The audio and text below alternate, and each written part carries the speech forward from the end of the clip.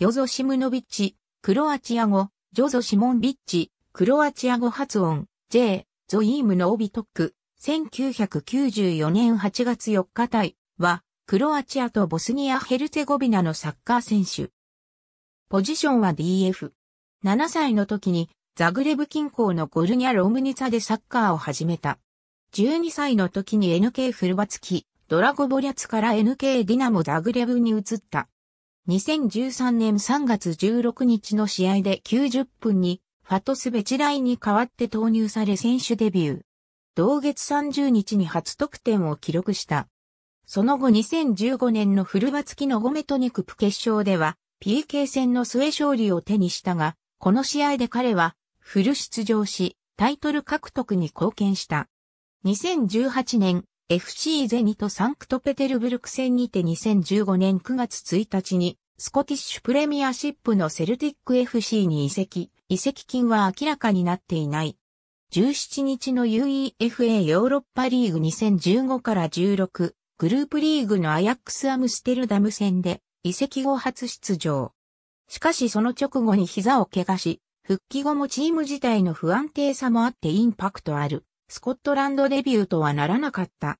2016年1月15日に移籍後初得点。しかし翌週に怪我を負傷し6週間離脱。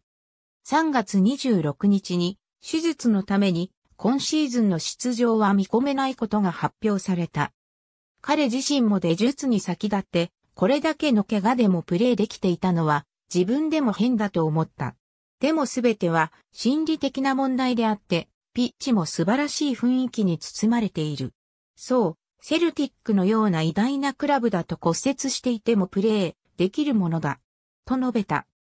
7月13日から翌14日にかけて、怪我から復帰するためにここ9週間をベオグラードで過ごし今週グラス号に戻ると、ツイッターで発表、トリノ FC へ移籍する噂を否定した。しかし8月30日にトリノに渡り、メディカルチェックを受けた。翌日、メディカルチェックには合格したものの、両クラブ間で移籍金の折り合いがつかずに破談したことが発表された。彼自身も体は完全に健康でフィットしているとツイッターで述べ、セルティックで過ごしていくことに集中すると述べた。9月18日にクリスティアン・ガンボアに代わって途中出場し復帰した。その後はセンターバックとして出場を重ね、エリク・スビアチェンコと共に9試合のクリーンシートを達成した。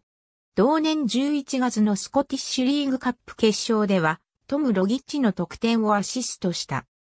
3から0で勝利し、タイトルを獲得した後、彼はスポルトスケのボスティシに本当に素晴らしかった。常に雰囲気が良いクラブではあるが、いつにも増して良かった。100回目のタイトルになったからね。と語った。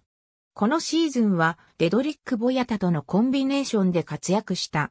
2017年9月11日に4年契約を新たに締結した。ユースの全年代でクロアチア代表として出場。U-17、U-19、U-21 の年代では首相を務めた。2015年9月にクロアチア代表から UEFA ユーロ2016予選、ブルガリア代表、マルタ代表戦のメンバーとして、負傷したデアン・ロブレンの代わりに選出されたが、彼自身も負傷し出場できなかった。その後、クロアチア代表でプレーする可能性が低いことに不満を抱いた。彼は家族のルーツがヤイゼにあるのもあり、2017年7月にボスニア・ヘルツェゴビナ代表を目指すことを表明した。ありがとうございます。